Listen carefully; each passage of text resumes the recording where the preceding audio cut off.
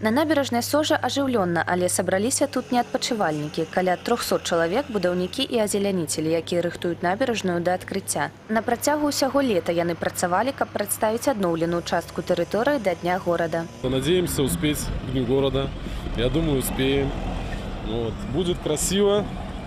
Если считать, что здесь было ну просто заросли, кусты, ничего не было, ни дороги, ничего. Тут ствараюць паўнавартасную зону адпачынку. Змены закранулі не толькі архітэктурную частку набережнай. Яна будзе добра асветленай і абсталяванай лаўкамі для наведвальнікаў. Новая тэрыторыя набережнай стане палепшаным працягам існуючых. Есть самая старая набережная, потом участок э, от Лебяжьего пруда и до новой набережной, которая сдастся ко дню города. Это еще 500 метров, на которой мы сейчас находимся.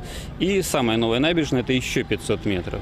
Працаваць на гэтую найноўшую частку сёння прыехалі памочнікі. Актывісты БРСМ разам з усімі жадаючымі далучыліся да работ. Дапамагалі справай. Рабяты пафарбавалі больш за 100 метраў плоту. Пришло гораздо больше ребят, чем планировалось. То есть мы думали на- насобирать человек 15, пришло 25-30. Сумеснымі намаганнямі аднаўляецца набережная сожа. Разам не толькі весялей, але і прадуктыўней. Кацярына Сапельнікава, Валерый Гапанько, тэлерадыёкампанія Гомель.